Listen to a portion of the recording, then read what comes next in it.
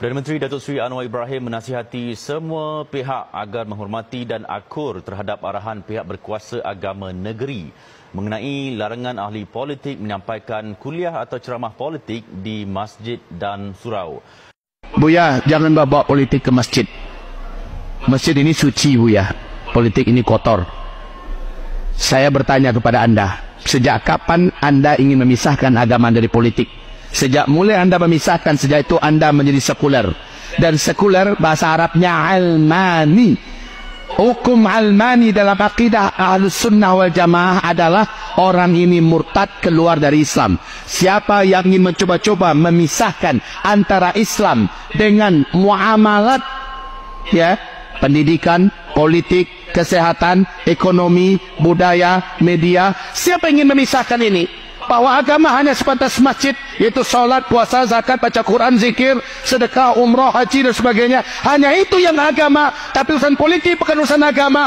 Orang ini yang dimaksud oleh Allah afatu'minuna bi ba'dil kitab wa takfuruna bi ba'd apakah kamu hanya menerima setengah saja isi kitab lalu kamu campakkan setengah isi kitab yang lain? Fama jaza'u man yaf'alu dhalika minkum illa khizyun fil hayatid dunya Orang yang melakukan amalan itu di antara kamu selama dia hidup di dunia dia hina. Wa yaumal qiyamah yuradduna ila asyaddil adab. Orang yang menerima agama hanya setengah lalu mencampakkan setengah lainnya.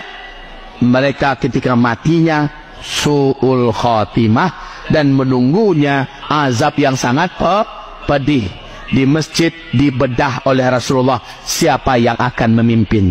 Di masjid Pak. Ketika Nabi meninggal para sahabat melanjutkan musyawarah besar terjadi di masjid. Siapa yang akan memimpin? Di mana kepemimpinannya nanti? Dibedah di masjid diurai di masjid ditetapkan di masjid diumumkan di masjid. Jadi jangan sesekali berpikir jangan bawa-bawa politik ke masjid. Anda sekuler gitu aja bahasa kita Pak Sementara Islam itu ajaran kafah, ajaran yang sangat komprehensif, universal. Di masjid bicaralah kesehatan, di masjid bicaralah ekonomi, di masjid bicaralah politik praktis. Di masjid layak umat ini mendapatkan penjelasan yang jelas. Seperti ini, kalau enggak di kita yang menyampaikan, kalau enggak kita yang menyampaikan, maka siapa lagi yang akan menyampaikan? Kalau bukan di masjid tempatnya, maka di mana lagi?